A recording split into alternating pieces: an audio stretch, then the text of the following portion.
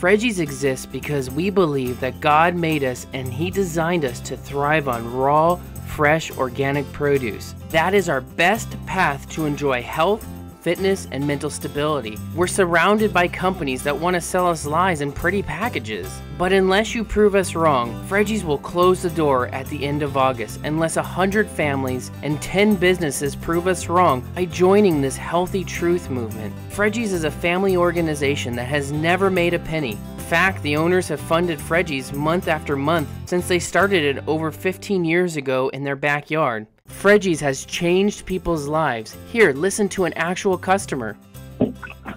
Freggies, thanks for all your encouragement. I've lost eight pounds. I hope in 12 months from now I'm not like, oh yeah, I'm back to burgers and fries.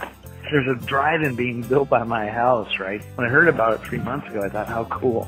I could run up and have burgers and fries. Like, oh, I can't come here, man. I'll just eat this processed crap. my little eighty dollars a month, I'm probably making five hundred to a thousand more a month now because I'm actually working harder, hustling. Amazing going upstairs. I used to all be kind of like panting with my tools. Now I'm like just run up these stairs. So, God, my energy level's up thanks to you, Freggies.